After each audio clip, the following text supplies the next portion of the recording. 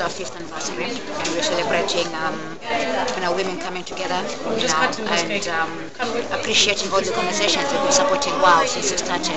So it's just like a thank you. You know, we do appreciate everything they do with us.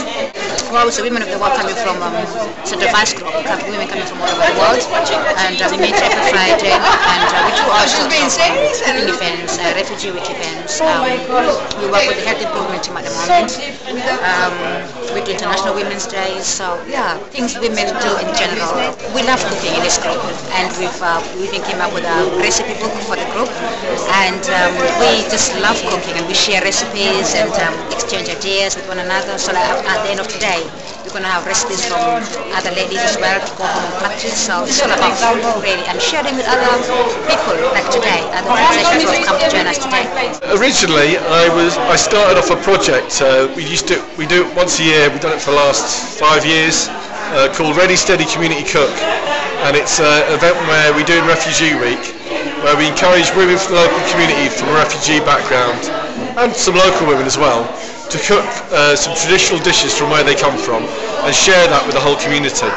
And we run that at the local high school every year. So I was out recruiting for women when I met Emily, Therese and some others. And um, out of that I think it also helped them to, to decide to set up a group uh, to get themselves going. Today it's the WOW's 5th anniversary, yeah. Uh, and uh, they've been going five years meeting and uh, supporting each other as well as organising activities and events. The aim of the health improvement team is to improve the health and well-being of the, the population within Salford. Uh, talk to them about healthy eating, about increasing levels of physical activity, stopping smoking, those those type of things. My involvement with the Wild Group probably started about three and a half years ago, something like that. Um, and I initially did a six-week healthy living course with them, which involved uh, different aspects of health. So we covered uh, each week we had a different topic. So we covered healthy eating, we covered physical activity, smoking, and so on. Um, and my involvement sort of grew out of, out of that.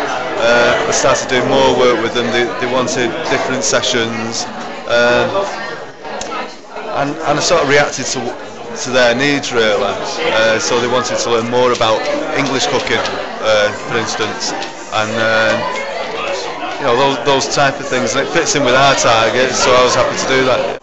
WOW is women of the world from different people from different countries. Joining the community and getting involved with each other. Yeah. Do activities for the kids.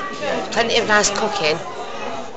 So it's a nice group to get together. The women here from the group are from parts of the country, India, Africa, China and Salford.